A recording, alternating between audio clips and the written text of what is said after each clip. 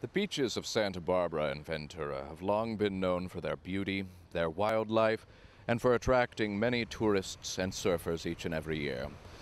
Now, however, they're becoming known for something else.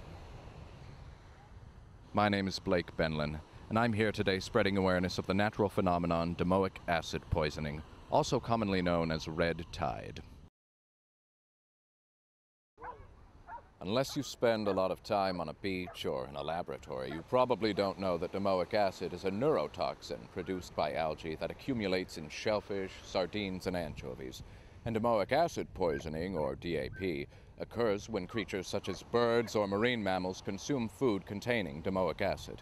A study conducted by UC San Diego in 2008 found that the cause of domoic acid blooms is a mystery, as are the reasons for their duration.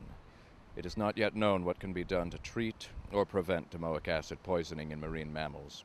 Not only can DAP cause serious disruptions in the fishing industry, but its effects are painfully apparent in the wildlife that depends on fish and other plankton eaters. It's been a tough year for the local loon and gannet populations, as thousands have been reported dead already from the effects of domoic acid. Even the seal and dolphin populations have been noticeably affected by harmful blooming algae. California is not alone. According to a study conducted by Florida's Fish and Wildlife Conservation Commission, mass die-offs of coastal seabirds and shorebirds are very common during domoic acid blooms. As a neurotoxin, domoic acid viciously attacks the brain and central nervous system while rapidly depleting the animal of water. Sick birds will exhibit an inability to stand, slumping of the head, weakness, seizures, dehydration, reluctance to fly, nasal and oral discharge, beaching in aquatic birds such as loons or gannets, and ultimately death.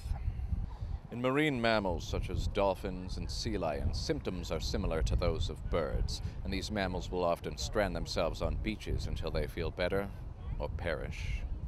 It is extremely important to remember that domoic acid poisoning is dangerous, even to humans in high doses. Whenever handling any animal affected by DAP, make sure to take the proper precautions. Wear gloves, for instance, and never put yourself in danger when dealing with a wild animal. To report a live marine mammal stranding in Ventura or Santa Barbara counties, please call the Channel Islands Marine and Wildlife Institute.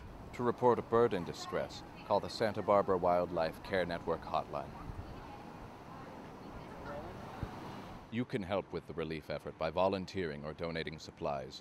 Manpower and supplies such as cardboard boxes, towels, blankets, rags, gloves, kennels, nets, and sheets all help mitigate the effects of this naturally occurring phenomenon.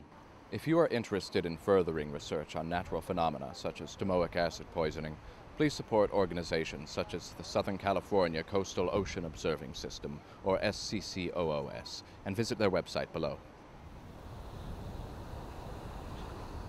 Thanks for watching this PSA. My name's Blake Benlan, and I'd like to give a special thanks to all the volunteers who work very hard to rescue and transport animals affected by DAP, and to everyone who made this video possible.